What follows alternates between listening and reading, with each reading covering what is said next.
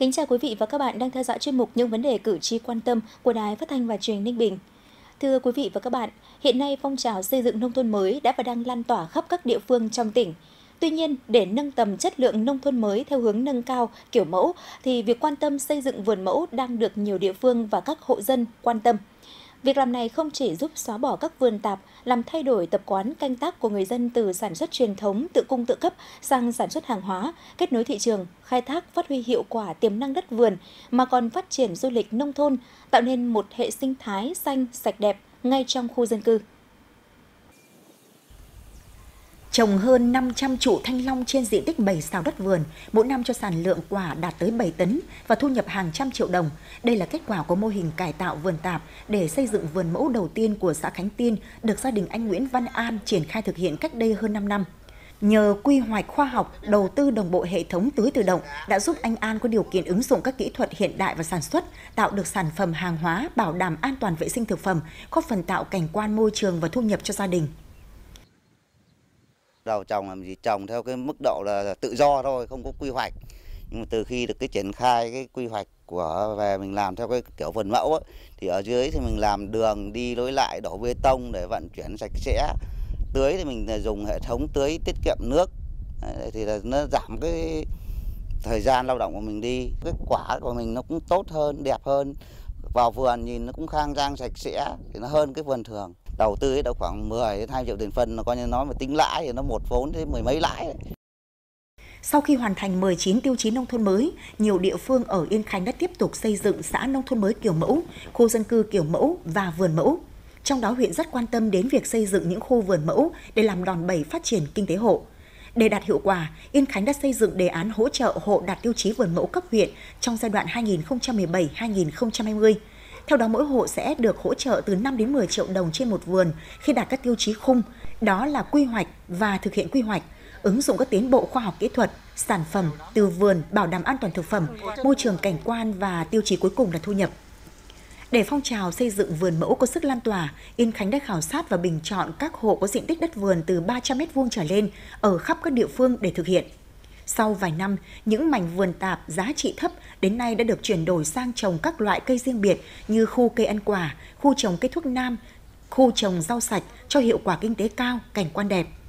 Từ sự thành công này mà việc triển khai xây dựng vườn mẫu gặp nhiều thuận lợi, được cấp ủy đảng chính quyền các cấp trong huyện đánh giá cao và nông dân tham gia tích cực. Đến nay đã có gần 120 vườn được công nhận vườn mẫu cấp huyện, có nơi đã trở thành địa chỉ đến tham quan học tập của nhiều người làm vườn trong tỉnh. Vườn mẫu này tôi làm cách đây 5 năm rồi và làm như vậy thì nhìn chung là vừa mát mẻ, vừa có thu hoạch nên là à, nhiều người cũng rất thích đến tham quan. Đấy cũng là động lực làm à, cho mình làm à, vườn mẫu này đẹp và tốt hơn. Đảng ủy, ủy hội đồng nhân dân, ủy ban dân là đã chỉ đạo cho các ban ngành đoàn thể, đặc biệt là hội phụ nữ, hội nông dân và hội cựu chiến binh vận động đến ờ, từng hội viên của mình xây dựng ờ, cái kế hoạch vườn mẫu này từ năm 2017. Đến nay thì ờ, toàn xã đã có 15 vườn mẫu. Những mô hình này là như năm ngoái thì được huyện hỗ trợ là 10 triệu. Đối với các hộ thì người ta đã đua mô hình, người ta quy hoạch trồng loại nào ra loại đấy. Thì người ta không trồng lôm côm nên là đem lại hiệu quả rất cao. Các hộ và trồng rau vườn sạch này là người ta rất giữ an toàn vệ sinh thực phẩm, đặc biệt là không phun thuốc trừ sâu. Việc xây dựng vườn mẫu đang được nhiều hộ dân ở các địa phương trong tỉnh hướng tới, bởi chỉ cần diện tích từ 300 m2 trở lên là có thể quy hoạch để làm và cũng không tốn quá nhiều chi phí đầu tư mà lại cho thu nhập khá cao. Theo nhiều người dân, để thành công thì điều quan trọng là phải hình thành được quy hoạch, lựa chọn cây trồng phù hợp ngay từ ban đầu. Tại các mô hình vườn mẫu, phần lớn các hộ đều làm mương thoát nước, xây dựng hố rác hữu cơ, chỉnh trang lại chuồng trại đảm bảo vệ sinh môi trường. Các cây ăn quả giống mới đều được trồng theo hàng, đầu tư lắp đặt hệ thống giàn và phun tưới nước tự động. Đường đi lối lại được đổ bê tông để dễ chăm sóc và vận chuyển nông sản. 100% các vườn được cải tạo lại đều bố trí diện tích nhất định để trồng rau xanh theo hướng đảm bảo an toàn vệ sinh thực phẩm. Chính vì vậy, đa số các vườn mẫu đều có thu nhập từ 30 triệu đồng trở lên. Cái quy hoạch thì về thì kinh tế vườn thì mình cũng ờ, cũng phải tham khảo, cũng phải tính toán đấy. Trồng cái cây gì, chọn cái loại gì nó phù hợp với cái điều kiện nông hóa thổ nhưỡng của của mình. Hai nữa là cũng phải chọn những cái cây đi tham khảo rồi về những cái cây nào có thể nó có giá trị. Để nó trồng xong sau nó có cái thu nhập. Thì ờ, là tôi thì tính toán là trong cái đấy thì khoảng ờ, trồng một mẫu là cây cảnh. Mà cây cảnh thì nhà tôi thì chủ yếu là trồng bằng cái tùng la hán. Và cũng cấy một số những cây khác, xen xen vào. Ví dụ như là những cái cây ờ, niu niên, những cây ăn quả. Nếu cứ bán cây nọ để sử dụng vào các cái việc khác thì hiện tại những năm gần đây thì khoảng vài ba trăm triệu một năm thôi. Riêng Yên Thắng là một trong những xã miền núi thì hiện nay đối với cái hộ dân mà đang được cái, có cái diện tích vườn tạp thì đối với Yên Thắng nó cũng phải là nhỏ đâu. Thì cơ bản là lớn đấy. Một số diện tích của các hộ thì đã chuyển đổi từ năm, trước năm 2013. Song song với việc đó thì để phát triển kinh tế, để nâng cao cái đời sống cho dân, thì một số hộ đã chủ động cải tạo cái vườn tạp này để nâng cao cái đời sống. Trong đó một số hộ nó mạnh dạn học tập cái kinh nghiệm và đặc biệt là đưa cái công nghệ cao vào để sản xuất trong đó là như hoa dưa và một số các cái sản phẩm có giá trị năng suất cao riêng Yên Thắng thì à, hiện nay chúng tôi cũng đã vừa rồi cũng đã đang liên hệ với trung tâm khuyến nông để tập huấn cho một số các cái hộ ờ, có cái khu vườn tạp này để nâng cao cái giá trị thu nhập. Việc hình thành các khu vườn mẫu đã tạo sự chuyển biến lớn trong nhận thức của bà con nông dân về phát triển kinh tế, nâng cao đời sống vật chất và tinh thần cho nhân dân. Xây dựng vườn mẫu theo hướng nông nghiệp sạch, hữu cơ là đích mà chính quyền địa phương và nhiều nông dân đang hướng đến để xây dựng nông thôn mới nâng cao, kiểu mẫu, bền vững. Tuy nhiên, quá trình triển khai thực hiện tiêu chí này trên địa bàn tỉnh thời gian qua còn nhiều khó khăn. Chính vì vậy, để mô hình này tạo sức lan tỏa, cần có giải pháp mang tính đột phá và cơ chế hỗ trợ đủ mạnh nhằm khuyến khích người dân tham gia. Có diện tích đất vườn rộng gần 400 m2, tuy nhiên vài tháng nay, gia đình ông Tạ Kim Cương ở xã Yên Thắng vẫn bỏ không cỏ mọc um tùm, xen lẫn vài cây rau cây thuốc nam đã quá lứa. Ao cá, chuồng trại cũng chẳng nuôi thả được gì. Nguyên nhân được cho là chất đất ở đây xấu. Bản thân ông cũng không biết chọn lựa cây gì, con gì để đưa vào trồng, chăn nuôi sao cho hiệu quả. Hơn xào này thì mỗi năm cũng thu được khoảng 5 triệu. Gia đình thì đến giờ thì gia đình cũng chẳng biết ừ, phát triển cái như thế nào để cho mà nâng cái kinh tế gia đình ừ, thu nhập lên ừ, gọi là tốt hơn tí nữa. Mong muốn của gia đình cái thứ nhất là à, một là cái khoa học kỹ thuật. Ờ, Nơi nhỏ cấp trên là phổ biến kiến thức để tất cả cái trồng cái gì, làm cái gì, phun thuốc gì để cho nó đúng bệnh, đúng ờ, thuốc. Cái thứ hai là điều kiện kinh tế là là có khi gia đình là muốn ờ, giả sử đi vay vốn ngân hàng có thể hỗ trợ lãi suất như thế nào, nó thật nhẹ đấy để cho gia đình phát triển còn đây là diện tích hơn 2.520 m2 của gia đình ông Nguyễn Văn Hạnh ở xã Kim Mỹ. Mặc dù có thu nhập từ vườn trồng rau thơm và các loại rau ngắn ngày khác, nhưng giá trị mang lại chưa cao, diện tích đất để trống vẫn còn nhiều. Việc trồng các cây trong vườn chỉ là tự phát, đầu ra không ổn định. Nhiều giống cây không đảm bảo chất lượng nên mất nhiều vốn đầu tư đi đầu tư lại. Năm tất cả thì cũng được vài chục thôi, vài chục triệu thôi, không, không, không được nhiều nên là hiệu quả kinh tế nó chưa được cao lắm. Bây giờ thì tôi thấy mà có được nghiên cứu cho được thì để cho ít giống chuẩn.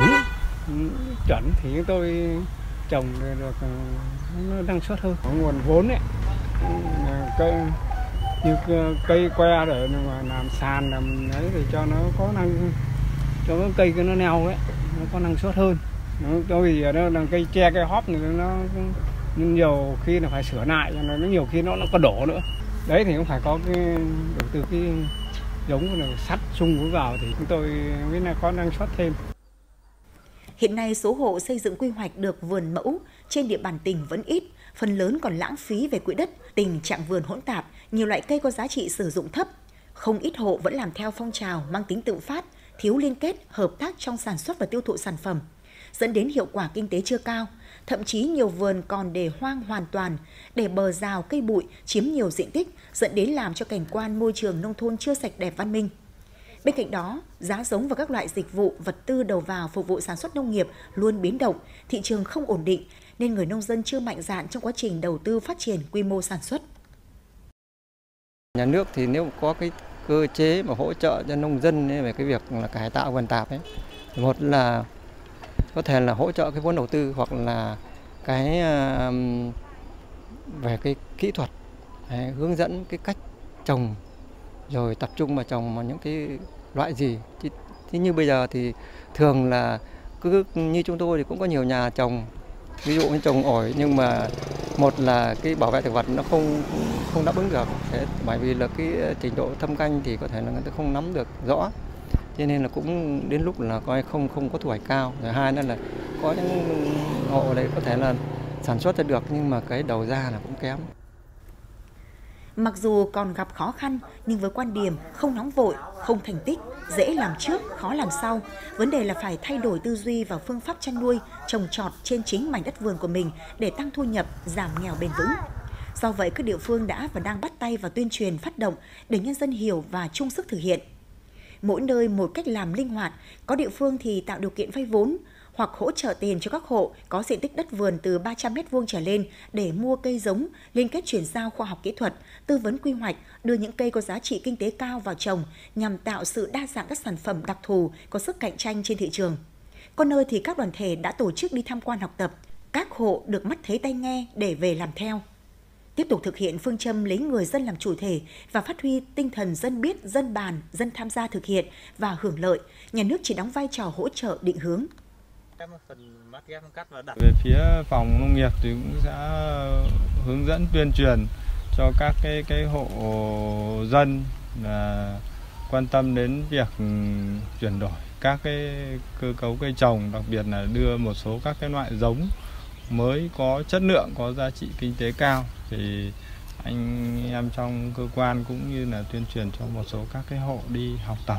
Ví dụ như cái nên yên khánh rồi là sắp xếp lại các cái cái cái cái vị trí cây trồng rồi các cái loại cây trồng thì thì thì chắc chắn là vườn nó sẽ một là nó sẽ có cái, cái cho cái thu nhập cao hơn hai là trồng các cái cây nó phù hợp với với với với, với từng cái vùng riêng cái vườn tạp mà đã cải tạo tốt thì mang giá trị rất nhiều.